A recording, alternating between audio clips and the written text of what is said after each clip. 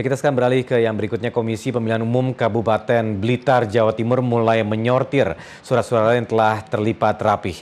Meski sudah terlihat uh, rapi, petugas menemukan ratusan surat suara yang cacat seperti sobek, berlubang, dan juga lipatan yang tidak sempurna dan terdapat noda tinta.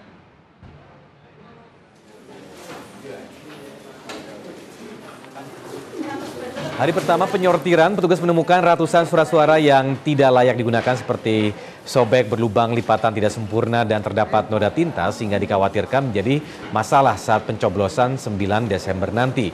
KPU Blitar mengerahkan 38 warga untuk melipat 1.012.672 surat suara dan rencananya surat suara ini akan dilipat hingga hari Kamis. Sementara itu untuk logistik pilkada lainnya seperti bilik dan kotak suara sudah mulai didistribusikan ke PPK yang ada di kecamatan.